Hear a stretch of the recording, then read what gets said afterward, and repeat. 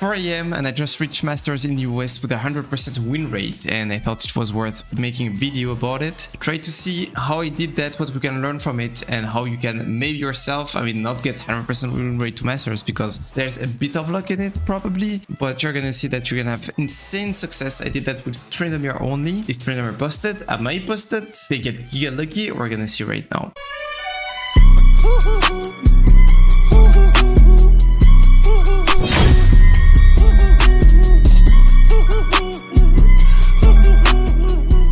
This is it. These are the games. These are the games that I played that got me to Masters. It's 12 wins, 0 losses. So of course it's not like 20, 30, 40 games, but all of them have been played with uh, last seasons, last splits, around 300, 400 LP MMR minimum. Like you see here, it's uh, I think Marvin 1v9. This game was Challenger or his perma Challenger was Singed. Uh, yeah, you can see some pretty good players in that. So it was not smurfing, it was not duo queuing, it was just like me playing Trynd. And the first thing that you can notice is, well, of course, like I got a bit lucky, but the KDA is really clean. The CS per minute is really clean. Of course, I've been performing really well. Not, not pure luck, of course. And something that you can see is that eight days ago, seven days ago, five days ago, four, two, one, and then a bit more games, but in multiple sessions. I haven't been playing long sessions. I think you shouldn't as well. If you want to reach a very high win rate, you shouldn't play in crazy long sessions, just spamming games on top of each, of each other. Now, regarding the build, what, what, what can we say about the builds? Well, as you can see, I've actually been going some Stridebreaker in those games. Straight here, straight here, straight here, straight and straight, which is actually funny to see because on the other account where I played like 30, 40 games in a higher MMR even, I haven't gone uh, straight at all. So why did they go Stridebreaker? I don't even know. Like just, sometimes I just have a feeling about items and here I think the feeling came from like squishy, squishy, squishy, squishy and then the support that I'm not gonna face too much. Yeah, like squishy, squishy, squishy. Like the targets. Oh yeah, also I, I, I messed up. I took I took PT on accident for these two first games. So there's that. And then well, yeah, when, when I'm into full squishy, full kiting comps, uh, and I feel like I want to snowball, I most likely go Stridebreaker, and I think there's still room for stride in the current patch, but most likely, yeah, you're gonna go Hydra, it's really strong, pretty good. Yeah, I actually went Mortal second into, into Illaoi to keep snowballing on her. Yeah, you can have some creativity in your builds, like you don't have to always go for the same thing, like Hydra, Zeal, IE, PD, etc. You can you can try to shift a bit and maybe go for a stride, maybe go for an early other item, you know. Sometimes I do Mortal Reminder, sometimes I do Lord Doms before I do IE, etc. So so yeah, that's that's something. But I mean the build is pretty common. We could we can look at the runes as well. These are the runes that I've been taking. Uh, Grasp, Demolish, Second Wind Revitalize, Alacrity, Last Stand, and then Attack Speed, Adaptive, and I like to have some Tenacity. I know that other Trynda players just take HP or HP per level, but I like that. I mean, it's, it's always useful, you know? There's so many slows and CCs in the game and you cannot dodge all of them. Now, what makes Tryndamere so strong, actually? Um, well, I feel like the reason is in the fact that Tryndamere always was a really good laner and then he was really decent in mid game and then he falls off in late game but right now not only he's even a better laner than he used to be and you can see like right now for example like that the last game that i just played right now i'm kind of out of the lane I lost a lot of HP, but the thing is, with second wind, revitalize, grasp, and Qs, of course, well, the difference between a good and a bad situation is just the amount of Qs that you need to press. And here, that's kind of what I do. I trade a lot of HP, but no one can actually take you out of laning phase. And in harder matchups, you can actually go fleet footwork. And you're gonna just stay and out-sustain pretty much anyone in the game. And this makes you win pretty much like every single laning, like even if Sin kind of trolled that, well, at some point, I'm just gonna be able to look at that sustain back up. Remember when I was 1 HP? Well, now I'm almost full HP, and we can just kill the Illaoi. And even if she base TP, etc., it doesn't matter. I don't have to TP. Like I can just have infinite HP bars. Like sometimes I will do win lane by having like sustaining three times the HP bar of my opponent. Like he, he bases TPs, comes back, bases, comes back, etc. And I'm still on my first HP bar, but because I have Q's infinite sustain, I can just stay forever. And the thing is, I'm not gonna lie, I'm not I'm not the best player. I'm not as good as, as some other Trynda players, but it allows you to make mistakes. It allows you to make a lot of mistakes. You can just go for like kind of random trades. And here I'm just looking to trade HP because I know that I'm gonna sustain that and she's not. And that's what I've been doing pretty much in any scenario, any situation. I actually have a matchup spreadsheet that you can check it. The link is in the description. But I feel like I could swap any description of how to play a matchup by take short trades, out sustain. That's it. Look at this again. A pretty big trade, running really low in HP. This looks pretty bad. Well, it doesn't. It doesn't because now I can just wait, press Qs, press Qs on CD, and at some point I would actually end up out-sustaining. If you don't out-sustain the HP bar of your opponent, you're gonna out-sustain the mana bar. So that's a really strong thing about Trynda laning phase. I mean, of course, you need to understand the laning fundamentals, how to hold the freeze, uh, when the wave is actually like freezing, pushing to you, etc. And then just just abuse that part. Understand like that's that that's what makes Tryndamere strong, and then you're gonna have pretty okay. I mean this game Evan trolled that pretty hard.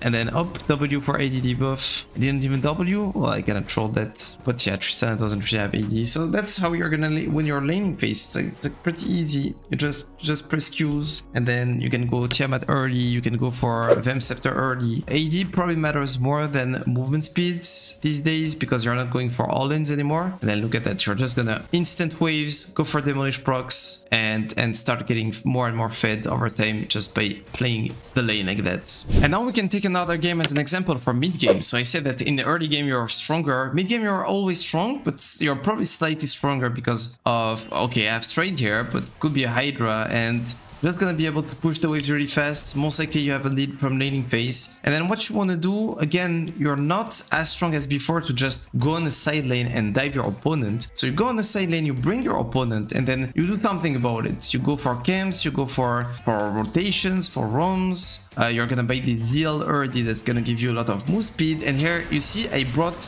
GP on side lane, and then I was the first to move, and I can play on that Drake and now playing for this Herald because I give space again to my team. I guess we got the Warwick or we got got him out. But I mean, basically you're a space creator. You want to create space for your team. You want to create number advantages. It's gonna be really important to tell your team where you want to play, what you want to do, and as much as possible, try to apply pressure on the side, have someone match you, and then sometimes you're gonna just be able to get the wave under turret and go for demolish procs and ignore your opponent completely. Sometimes you're still gonna be able to go for days, and sometimes you're gonna be able to just like pin someone, bring him on side lane and alt rotate basically. So boom, that's another kill. T2, Herald that I took by myself, flash for flash. And now I'm pinging that I'm going bot lane or I'm typing it probably. And I'm just gonna go there and start playing for more objectives. Okay, maybe the reason I don't go bot here is, yeah, because Drake is spawning my idea is that I don't want to send my ADC, I don't want to send my Akshan top. I mean, I could send Akshan top with TP, I guess, but I probably don't trust him at this point for actually being there for the objectives. So now all I'm thinking about is Drake. So we're gonna apply some pressure top, make sure that someone is matching me. Now GP is matching me. Now we're gonna move first. But I guess my jungler dies, so Okay, let me just take camp and now let me look to defend mid. I'm not gonna play for this T3. It's a bit too far in the map, it's a bit dangerous. And now I'm looking at the next objective, you know, the next objective is gonna be Nash. Most likely I'm gonna look to bring someone bot lane or create a number advantage. Well, I guess we're able to fade this and still get the Drake, which is pretty nuts. Cannot do Nash trade, so now I'm gonna go bot and do the, the, same thing, you know, try to bring someone. I have my second item now, I have IE, I actually have PD as well. Now I know that no one can match me, and I'm just gonna go there. Just gonna go there, push, insane damage that you have once you have IE by the way. So that's the thing, it's in mid game you're stronger than before, but in late game you're also stronger than before because now you have IE, you have insane damage, and I feel like even with the nerf, 40% critical strike damage um, instead of 50%, you're still gonna be able to have insane damage and still gonna be a better spot than Tryndamere used to be in. So now I can just go on side lane, kill that Vlad, and look to apply pressure. Okay, maybe that was a bit too much, I remember that play now. But at least look at that. Jungle is bot, mid is bot, uh, their support is bot, and now we just take Nash. You're a space creator, as I said, and you keep creating space. So this on CD, you just keep doing that. Okay, now we're gonna look at the late game, and the thing is, Streamer used to fall off in the late game because uh, he didn't have enough damage at that point to actually like kill his targets. He was, I mean, he still is super squishy, so people can make him ult pretty fast. The thing is now with IE, with the crit items, with the 50% crit that you get from your passive, you actually have enough damage, have enough pressure to be a menace in that late game. So we're gonna see, but it's gonna be the same shit. You're now, and you still are a space creator. You wanna connect your plays to the objectives. You wanna I mean, it's gonna depend, you know. Sometimes you wanna bring people inside lane if you can actually do something about it, if you can bring two people. Uh, but here, this is kind of my side you know. I'm, I'm maintaining the pressure mid, so we can move to the Nash. I'm staying with my team because we have plenty of CC, so you know that I can apply that insane damage. And this is actually like... I mean, Tryndamere used to have more damage than that, but if you compare it to Split 1, Tryndamere has so much damage from that IE, boom, auto, auto E, and goodbye Ahri. And I feel like there's there's a ton of damage in the game, maybe too much, kinda depends what you like about League. Now, look at that play, for example, the damage that, boom, two autos, and of course there's also the damage from Taliyah. But yeah, if you know like good old Tryndamere, you know that Tryndamere used to have more damage than this. But yeah, the damage is still pretty good. So you're gonna play the macro kind of like you play the mid game. Try to create space. Does it matter? Like if you're in lane, does it matter? Are you gonna bring two people? Can you just go for turrets, etc.?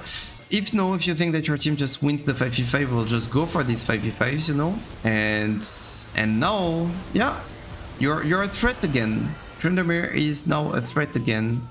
And Kenuktu, boom, deal some big damage. Uh, you have Hydra to stay forever on the map. I mean, this game I probably have stride, yep. But you can stay forever on the map actually with Hydra. You're perma full HP, you have Demolish so play a ton of pressure on side lane. You're very dangerous in team fights as well if you have just a bit of CC in your team, just a bit of setup. Tryndamere is just just so much stronger. So, I mean, I can show you something now. Okay, look at that. Look at the win rates from the Tryndamere main slash OTPs. This is step 1v9, 70% win rate. This is Bocap, 61% win rate here, but this is Bocap as well, and that's 70% win rate. Rangers, 70% win rate. You look at me, 63% win rate, and that's on the other account. So you add my 12 and 0, and I'm actually at 70% win rate. Every single Tryndamere main slash OTP has 70% win rate on the current split. Are we that good? I mean, we're probably pretty good at our champions, but we're not that good to have 70% win rate just being better than our opponents, you know? So the champion is in a really good state. I think you should 100% try it. You should 100% play it. If you like his identity, he's really fun to play. And if you're already Tryndamere main, well, keep it up. The champion is a pretty strong spot. You might not like what he has become because it's just like a sustain machine. He's not like that all-in